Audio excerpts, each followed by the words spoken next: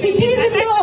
country it is where education is concerned and one of the oldest centers where schooling started, girls schooling started, the first girls school in the country it was. So great, Jaipur is, we are going places, we are now a UNESCO World Heritage Site which is again a great achievement for our city and our people.